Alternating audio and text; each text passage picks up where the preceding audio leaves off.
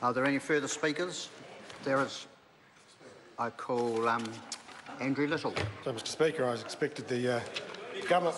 I, I, expected that the government might actually have an interest in this matter because it, it is a very serious matter, Mr Speaker.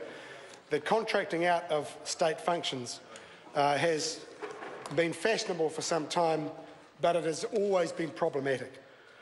It has been the stock and trade of this government in so many areas and in so many respects. And it comes from the point of view, at least from this government, that those with a profit motive can serve the public interest. And that's why this government thinks they can wholesale contract out very important state functions, uh, including now a lot of social support functions, or if they can't contract them out, hand them over to private investors, would you believe, for a, a, a uh, return on their investment.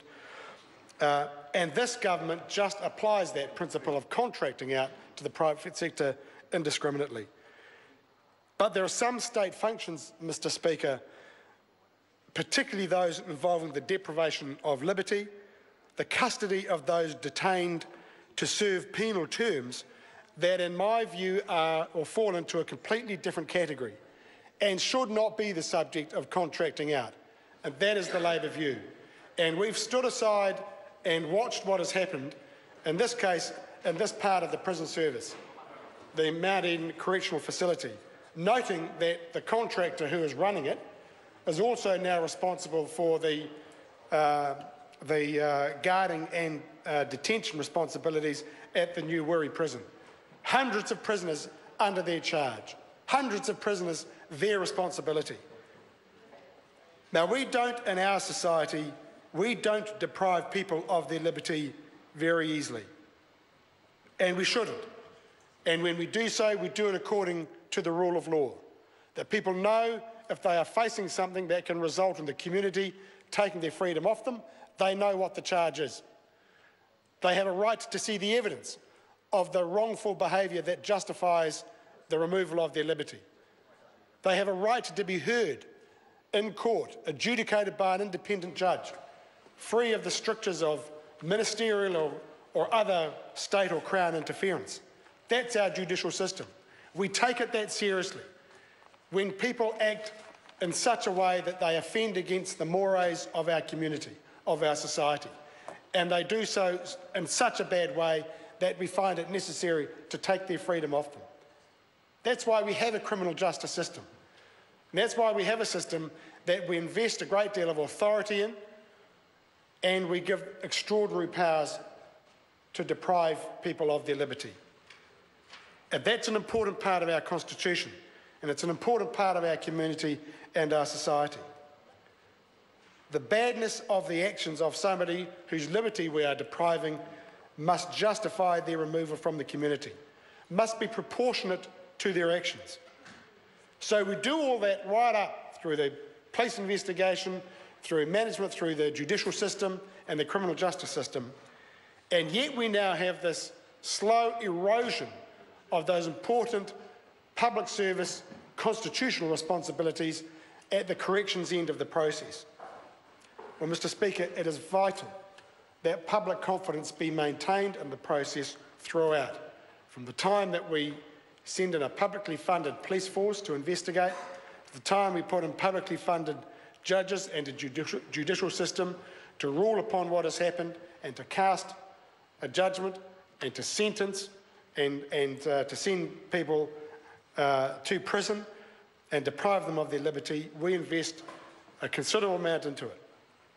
And the question then is whether we should continue to maintain that responsibility as a state, as the Crown, while the person is detained, while their freedom is denied them. We suspend prisoners many citizen rights, but they don't stop being a citizen. And I see no reason why, when we do that, we should hand over their custody and their care to private organisations whose basic motive is to make a profit. And in pursuing that motive and in making a profit, they have an interest in cutting costs, in doing the bare minimum, so that the owners of that private business get to benefit. And that's what's happening here. And as I said before, we should note that Serco, the company responsible for managing the Mount Eden, Mount Eden Correctional Facility, is also responsible for managing the Wiri prison as well. And so when we look at these events, of course we need to ask, how on earth is it that the events such as a fight club involving many prisoners at a time can be allowed to continue? It's clearly been organised, space and time has been set aside, and the prisoners have been allowed to freely assault each other in a way that no one would ever expect to allow to happen in any prison in any civilised country anywhere. And then we have the question of those fights then being recorded on smartphones or cell phones or whatever means are used, which means that contraband is getting through the prison gates and into the hands of prisoners and used to record these events. And then there's the act of uploading the, the uh, footage shot on those cameras or the phones up onto into Facebook or elsewhere on the internet. So how does that happen in a prison environment in which prisoners are meant to be, uh, if not totally denied access to things like the internet, at least to have them heavily restricted or conducted under supervision? Those are legitimate questions.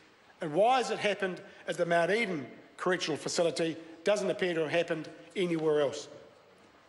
And so the Minister now has launched these investigations that will focus on the conduct of the management of Serco, and as Kelvin Davis has rightly speculated, most likely on the conduct of the prisoners themselves.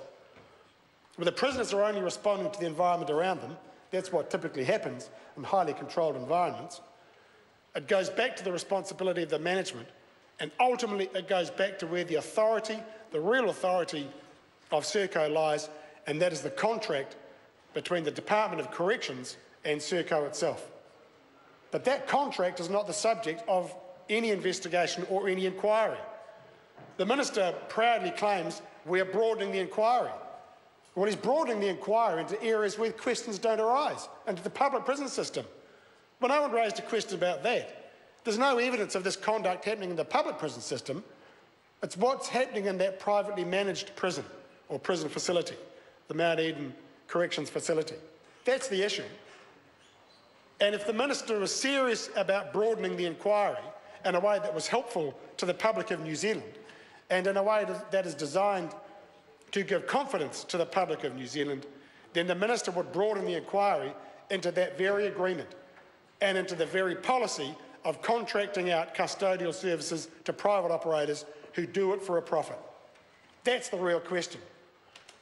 But it goes against, of course, the DNA of this government to do anything like that to challenge and question the ability of those motivated by private profit to act in the public interest, to, to, to take on a public service of such importance as depriving liberty of those sentenced by a properly mandated and authorised court uh, in order to serve penal time in the interests of the community. Well, that's what must be investigated. That's what must be examined, Mr Speaker, it's not just what happened on these occasions that have been recorded and uploaded and put on the internet and there for all the world to see and now broadcast on TV. At the heart of this is this government's policy, this government's arrangements and the agreements it has entered into with the likes of Serco, whether for this facility or any other correctional facility that it's contracted out. The public must have confidence at all times that our corrections facilities, that our prisons are operated to the highest possible standards, that the greatest possible security is, is uh, uh, maintained and the citizens, innocent citizens, law-abiding citizens are protected. And of course there will be gradations of security, but for those who are prone to fighting, to committing assaults, to committing offences, in the way we've now seen recorded in, would you believe, a prison facility, something has gone seriously wrong. And if the minister is serious about getting to the bottom of it, he will look at his own department's actions and a truly independent investigation, not just with ombudsman oversight, but a truly independent investigation involving a QC or a district or high court judge looking at the total arrangement, the total policy, nothing less is required. And the failure of this government and this minister to do that means they are not taking this issue seriously. Once again, the citizens of New Zealand are being treated as if they just don't matter. I call uh, Mahesh Bindra. Mr. Speaker, the images from